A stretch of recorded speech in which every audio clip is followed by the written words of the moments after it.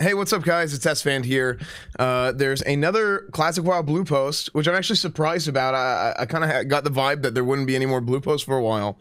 But uh, this one is about itemization in WoW Classic. Uh, there's been a lot of you know, speculation and stuff. We've, we've talked about progressive itemization and how there's different parts of progressive itemization. And uh, I, I, haven't actually read through the post yet. Like whenever I, I, I, saw this, it was it just come out a few minutes ago. So uh, we're gonna read through it together. I always think that's a little bit more fun. Uh, we'll read through it together and then we'll talk about it. Kind of give you um, instant thoughts and feedback as to what it is. So, Kaivax, if you will. It's been a lot of fun over the last couple of months to dive into the development of WoW Classic with the team. While trying to answer some of the many questions that have been posted here and elsewhere, looking at the plans for phase content released, unlocking dungeons and raids, and unlocking other systems, it's clear that the aim is to create a progression experience that resembles the original arc from when WoW first launched, and thinking about what belongs in each of those phases, the team's focus has always been on rewards. Developers have scoured through vendor lists and treasure tables for items that were added in patches and then added blah, then attach them to the staged content plan. This means that if a new item was originally added to a dungeon boss's loot table with AQ, you shouldn't expect it to appear in WoW Classic until Phase 5, which is the phase that contains AQ content. Okay, so this is, we talked about this on Classic Cast yesterday. Um, we talked about, or, on, or two days ago on Classic Cast, sorry. The Classic Cast was posted on YouTube yesterday. If you guys haven't seen that, go check it out. The premier WoW Classic podcast with myself, Tips, Stay Safe. Um, link or I'll I'll I'll, uh, I'll, put a little card up there so you guys can click on the card whenever I say this. But um, yeah, go check it out. We talked about it on Classic Cast yesterday and kind of what we thought would happen. Uh, my my thought for progressive itemization and how Blizzard was probably going to treat it at this point was that they were going to release items whenever they would be released. Right, they would put items into the game whenever they would be put into the game. Uh, but as far as like updating stats of the items throughout the course of vanilla throughout the course of Classic, uh, it, it, was probably going to be the final version. So, uh, at, at, least the first part, that's what they mentioned. Uh, along the way, we've seen many questions asking if we were also retract, re retracing the steps of incremental changes to individual items and their stats that may have occurred throughout original WoW. Such a plan could be called progressive itemization. Here's an example of progressive itemization. The Tier 2 Warrior Helm of Wrath originally had Spirit and Agility on it, as well as crit chance. In patch 1.5, the helmet stat budget was changed to Stamina, Strength, and Defense, along with elemental resistances. Then, in patch 1.7, the amount of defense on the helm was reduced. There was an overall defense nerf, and we'll talk about this. There was an overall defense nerf in, in Classic 2.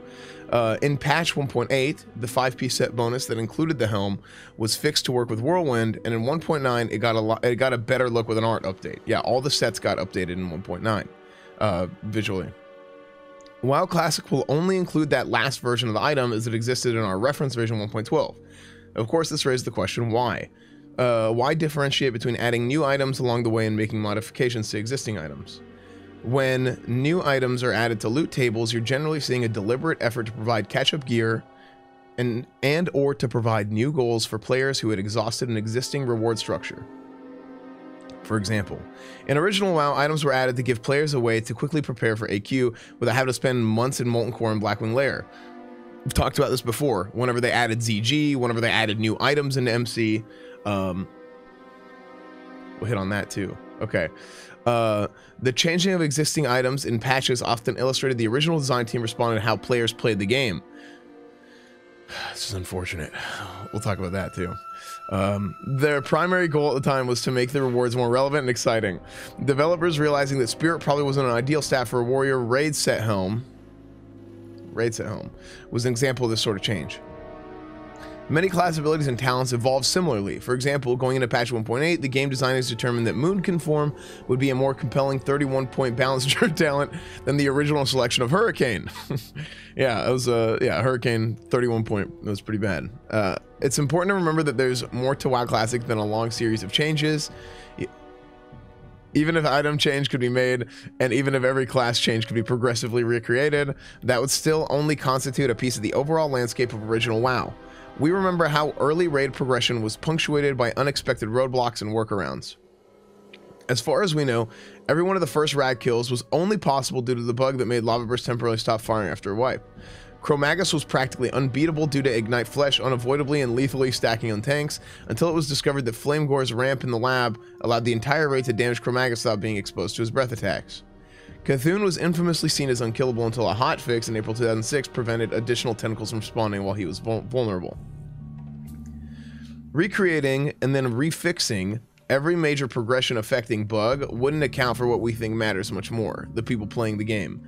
There were many unknowns in original WoW. The first guilds to reach Nefarian spent their initial polls testing different ideas they had and trying to figure out what condition would get them past the first part of the fight, uh, defeating 40 Drakonids. That experience can be created, recreated, excuse me, because the because the knowledge can't be unlearned. True. Uh, for a long time after patch 1.4 came out, Many players simply had no idea how good Obsidian Edged Blade or Aged Core Leather Gloves were. The power of weapon skill will be no surprise in WoW Classic. So rather than trying to recreate a specific experience from 2005 that can never be fully recaptured, our aim has been to accurately and fully restore the original game's mechanics and stats to their final and most polished state before the Burning Crusade. That mission has been a pillar of WoW Classic's design from its inception.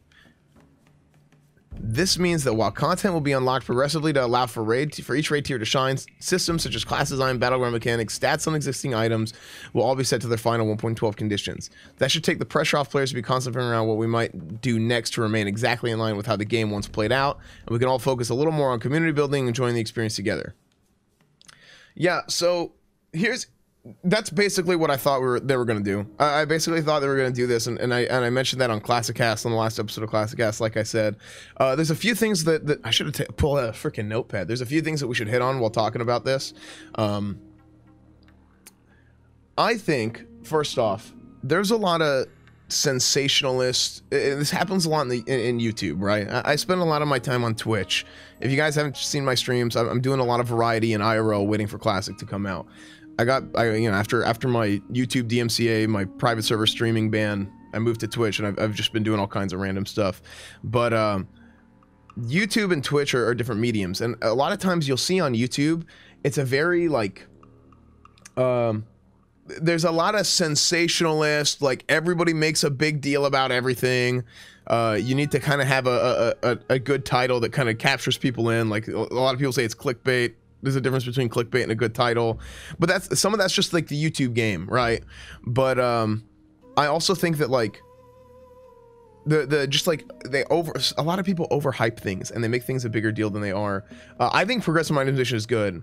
Uh, i i think overall like i would prefer to see pro, like full progressive itemization than no progressive itemization but uh I don't think of it in the same way that some people say, "Oh, this will like kill the game." I, I think there's there's very few things that'll actually kill the game, uh, and I, I, think it was Kronos.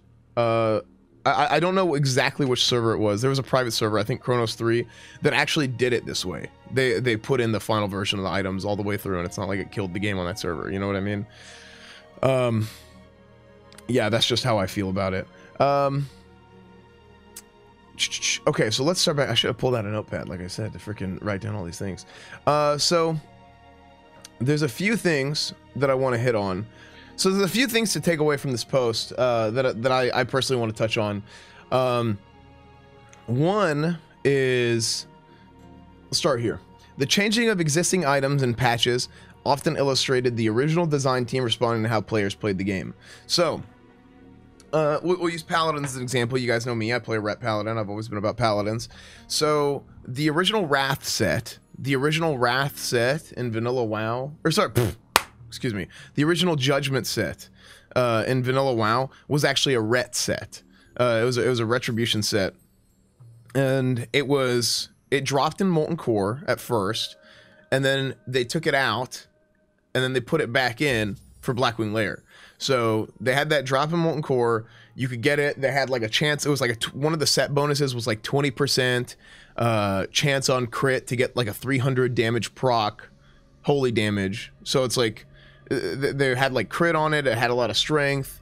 The stats were itemized around a paladin being on the front lines. Like that was their original intention for people playing paladins was the main ver- the main way to play a paladin was you were on the front lines right there with the warriors and the rogues and everybody else and you were like hybrid, you'd, you'd be off healing and stuff like that, but you'd be on the front lines, right?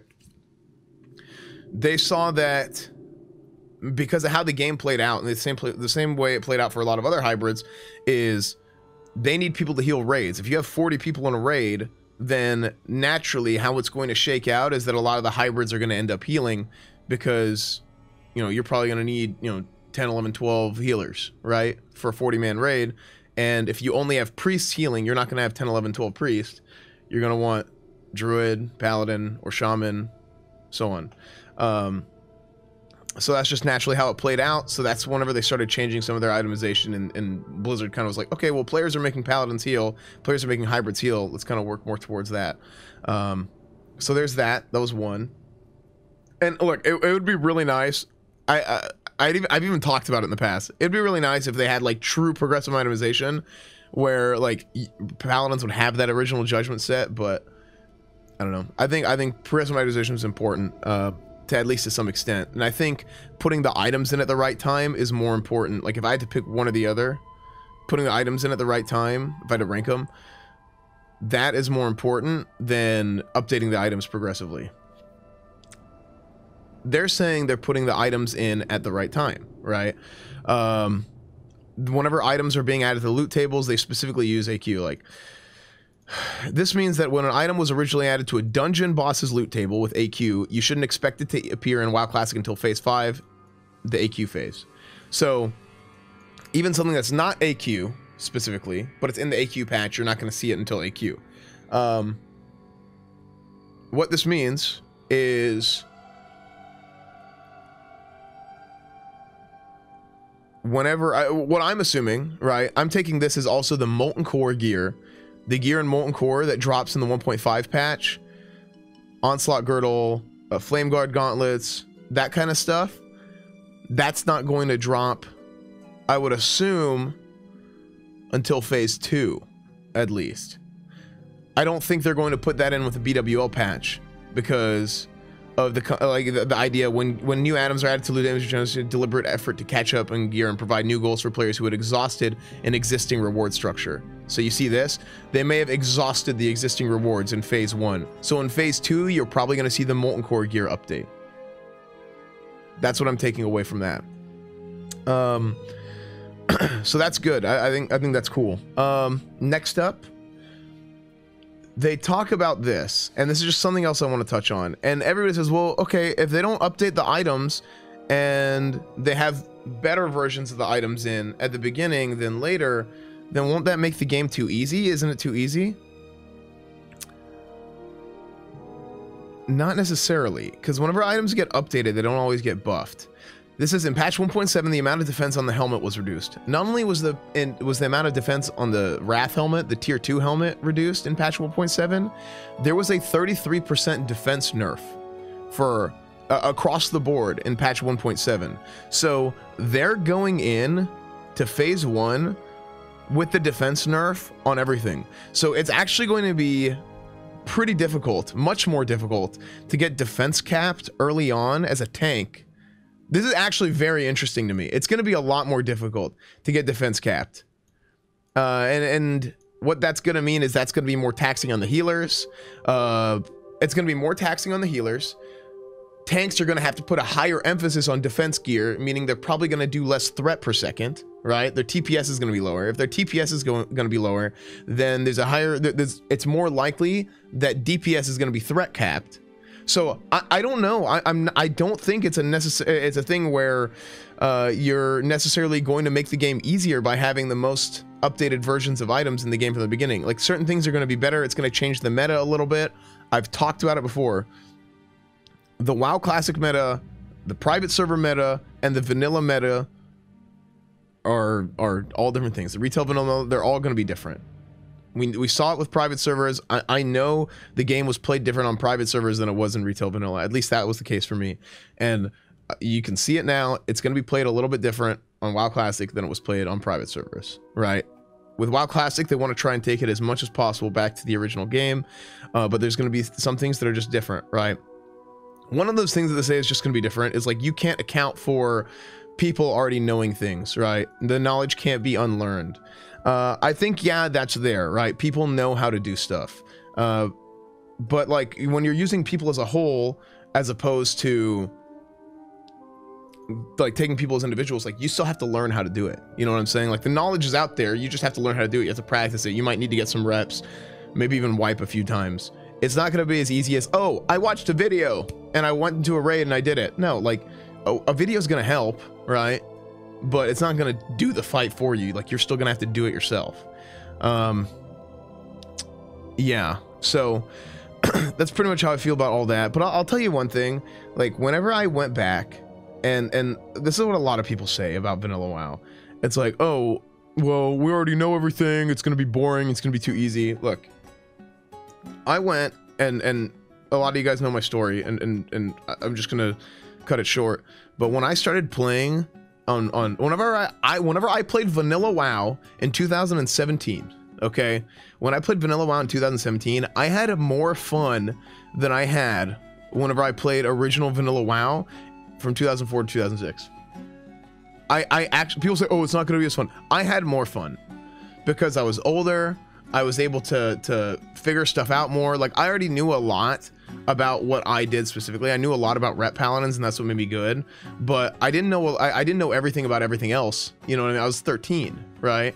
Um, I genuinely think that people, the second time around, this time around, are probably going to have more fun than they had in, in, the past. That's that's honestly how I feel. That's how I felt. And I think it's going to be really good. So anyway, guys, um, if you haven't yet, please subscribe. Please subscribe to my channel. Go follow me on Twitch. I just hit 100,000 follows on Twitch, and I'm almost, I, I don't know what we're at now, but but we, we just had 100,000 follow celebration on Twitch. We're doing IRL, we're doing variety. We're waiting for WoW Classic, man. The WoW Classic waiting room it's coming. We're gonna get the beta soon. It's gonna be a lot of fun. That's where we do Classic Cast live. Um, so so very very excited about things to come. Follow me on Twitter, Instagram, all that stuff. Discord. Join my Discord. We have almost 10,000 people in my Discord now. It's crazy. Discord.gg slash EsfandTV. Come talk about Classic. Come get excited. Come get involved in the community. It's a really, really good time. And um, I'm working on some stuff in the future too. A little bit of maybe like updating the website and stuff like this. Um, it's gonna be good. So, anyways, guys, thank you so much for watching, and uh, I'll see you guys soon.